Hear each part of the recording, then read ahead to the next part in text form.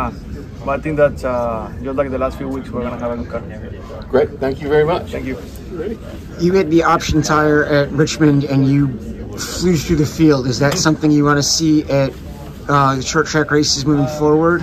I hope so. I think uh, I haven't found somebody that didn't like it. You know, uh, as a race car driver, fans, teams. I think it was a it was a great thing to have the option tire there. It was a good experiment by NASCAR, and I hope that they implement that for, for more races in the future. For the last the run before, obviously there was the last caution. You had gotten up to, I believe it was right around the top five. Um, so, in hindsight, do you wish you would have done that move sooner in the run, or was that like the right timing for you? It was the right time. Probably I could have um, administered my tires a little bit better, um, but it's very easy to say now. But uh, overall, the team did a great job. All right, thank you.